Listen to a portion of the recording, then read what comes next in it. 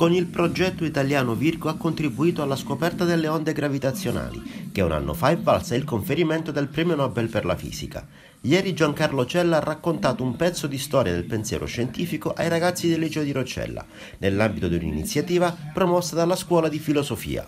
Ecco, in questi ultimi due anni abbiamo fatto una serie di osservazioni che ci hanno permesso di vedere di rivelare per la prima volta direttamente queste onde gravitazionali, di rivelare per la prima volta un fenomeno fisico che è la collisione di due buchi neri uno nell'altro e poi finalmente come ultima scoperta eh, la prima rivelazione dello scontro fra due stelle neutroni, anche in questo caso un evento che insieme alle altre cose produce onde gravitazionali.